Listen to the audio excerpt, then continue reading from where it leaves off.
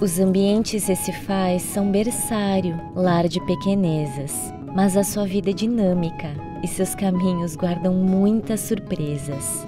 Os recifes também são território de gigantes. Ao dobrar da próxima esquina dessa cidade submersa, você pode se deparar com grandes seres que habitam nossos mares.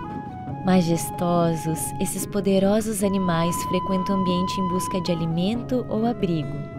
E quanto mais protegidos e equilibrados forem os recifes, maiores as chances desses grandes encontros acontecerem. E quando o assunto é gigantes, a Abrolhos se destaca. Sua formação recifal mais famosa é constituída de grandes colunas em forma de cogumelo, que podem chegar até 25 metros de altura.